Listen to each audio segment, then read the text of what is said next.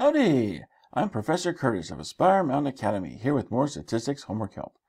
Today, we're going to learn how to perform the Kruskal-Wallis test for chest deceleration measurements. Here's our problem statement. Use the following listed chest deceleration measurements in G, where G is the force of gravity, from samples of small, mid-size, and large cars.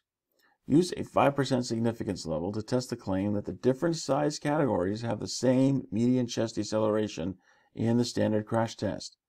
Do the data suggest that larger cars are safer?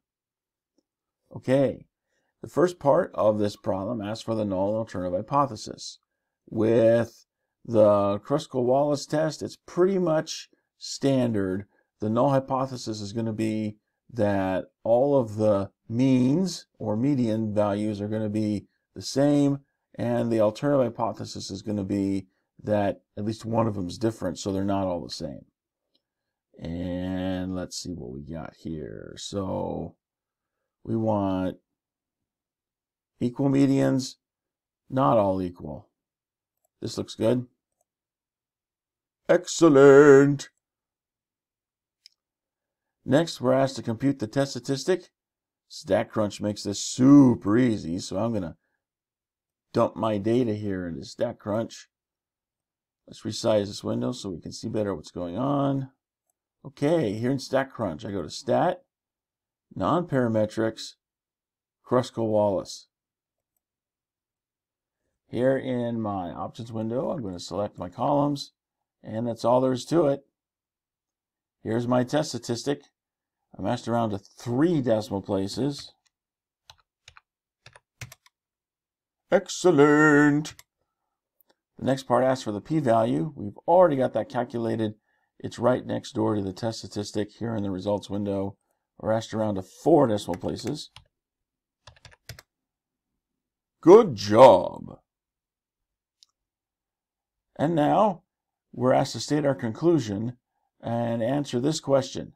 Do the data suggest that larger cars are safer? well, are we going to reject or fail to reject the null hypothesis? Well, we've got a p-value of just under 5%. Our significance level is 5%. So we're just inside the region of rejection. But it doesn't matter whether you're in a little bit or way in. In is in. So we're going to reject the null hypothesis and we're going to say that there is sufficient evidence.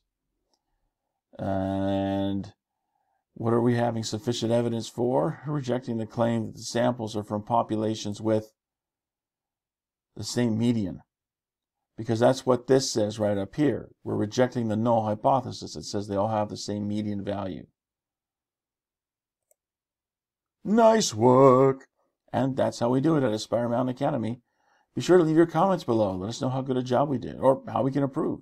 And if your stats teacher is boring or just doesn't want to help you learn stats, go to AspireMountainAcademy.com where you can learn more about accessing our lecture videos or provide feedback on what you'd like to see. Thanks for watching. We'll see you in the next video.